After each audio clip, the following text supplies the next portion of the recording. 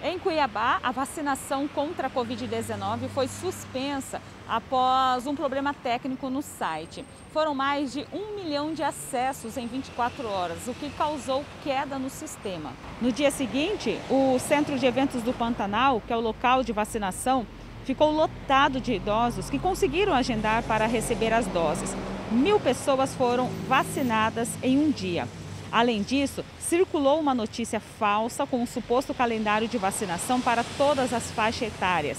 A fake news é atribuída ao Ministério da Saúde. Diante disso, a coordenação da campanha foi obrigada a fechar os portões para evitar mais aglomeração. Várias pessoas, inclusive de outras cidades, foram até o ponto de vacinação. De acordo com a prefeitura, o site para novos agendamentos deve voltar a funcionar na sexta-feira.